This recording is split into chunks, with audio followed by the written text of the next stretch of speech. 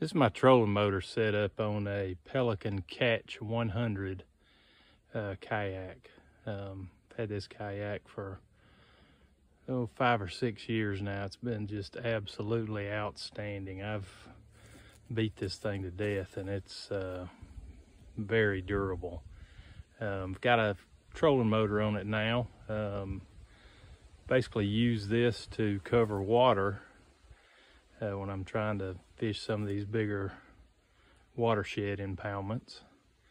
Um, can be a couple of miles to one end of them, so this helps get back and forth. Um, it's also great because it gives you instant reverse, which is nice when you're having to deal with wind that might be pushing you up into some brush, or uh, for instance, you hook into a nice fish and you're trying to haul him out of some brush or limbs and basically if you fish in a kayak much you know if you're pulling hard your kayak's just going to go to the fish. Um, so this is great. I can reach down and hit the reverse and uh, that uh, helps a lot. Um, this is a Watersnake T18 um, I've got another Pelican kayak with a T24 on it. I think this one does just as good um, none of them are super fast, but this will push you about three and a half miles an hour uh, on calm water, which is plenty. Um, not trying to win any speed contests. Um, the mount, this is all just homemade put together stuff. The, the mount's just a piece of uh, fiberglass that uh, actually was a bread tray. I just cut it sort of to shape. Um, if I had it do over again, I'd probably cut it down from what it is now, but it works great. Um, it's just riveted to the kayak um, with, I think I use the Pelican brand or uh, whoever uses uh, the those plastic uh, backed rivets that you can buy in the kayak section of most big box stores. Really simple um, the uh, took the head off the motor and run the wirings. There's only two wires that go down to the motor, a black and a red. Um, just take the head off and use those black and red to run. I'll show you in just a second. Just run up to a PWM in front of the seat, which is awesome because it's very accessible. Uh, I can go from basically you don't have to just high, low, and medium. You've got uh, 100% range of power forward and reverse, uh, and then just a little. I use a 20 amp hour uh, lithium battery that I got off of uh, Amazon. Not very expensive, super lightweight, and I can fish a solid eight hour day with this setup and um, not run out of battery. I never have. Um, it, again, the trolling motor is mostly just used to cover water. Uh, I still use my paddle for most of my positioning, but it is nice to be able to do small uh, adjustments, especially in the wind, uh, if you're trying to fish uh, slow and stay on a piece of cover. It's nice to be able to hit down and bump either forward or reverse to keep you on a spot. Um, one of the things that makes the battery last so long is you almost never running completely on high. Um, it's 70% or so. The kayak will run almost as fast as it does on 100%.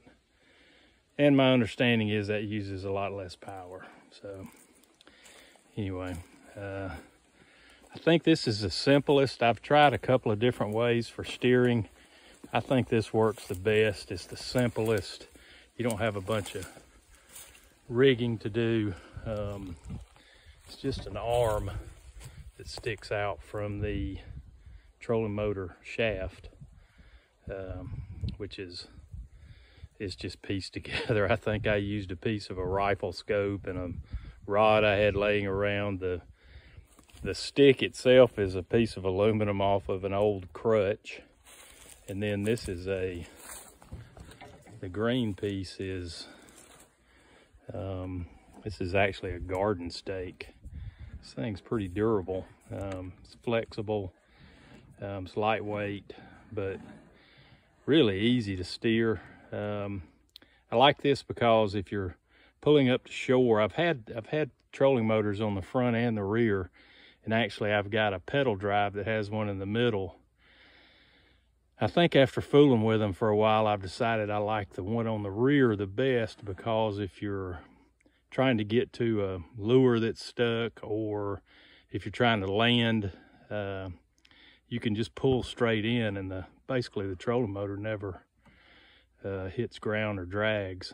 Um, I was gonna make it where I could lift it and lower it and raise it, but I, what I've discovered is it it sits so uh, it sits so it's almost flush to the bottom of the kayak. So because it's a tunnel hole, I've got it set so it's just below that tunnel hole and you can almost run with the motor into water as shallow as you can without the motor. Um, so that's, I like that. Um, makes it super simple. Again, uh, let's see. There's the steering. It just sits. I don't have anything attached up here. I guess I could I guess I could put a little loop around or something to keep it, but it never falls out. It just sits right there by the handle. I've probably made eight or 10 trips with it since I set this up and I hadn't had any issue with this piece being loose. Again, it just uh, gives you real simple steering. Uh, there's the PWM. I've, there's, I'm not going to go into that because there's some really good uh, videos on YouTube that tell you how to set up a PWM. I did the most simple one. This is just a black and white, black and red wires run from the motor straight to the PWM and then straight out of the PWM to the to the battery.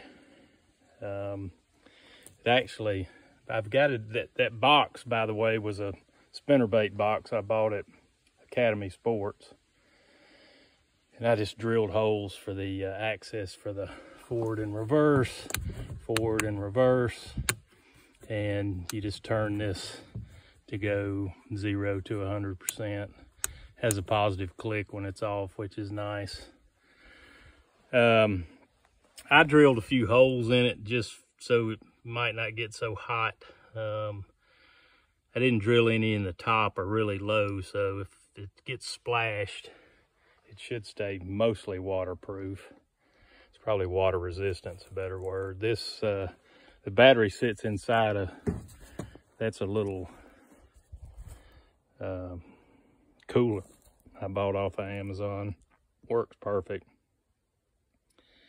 Gives the battery a little protection and uh, gives you a handle to carry it with uh, when you're moving it back and forth. But it's so nice to be able to deal with just these small, uh, ba lightweight batteries instead of uh, big, heavy, deep cycle battery. That's it. Uh, try to give you kind of a wide view of it here. Probably should have run it horizontal instead of vertical, but what you get when you get amateur doing videos. Uh, if you got any questions, let me know. Uh, good luck with your trolling motor setups.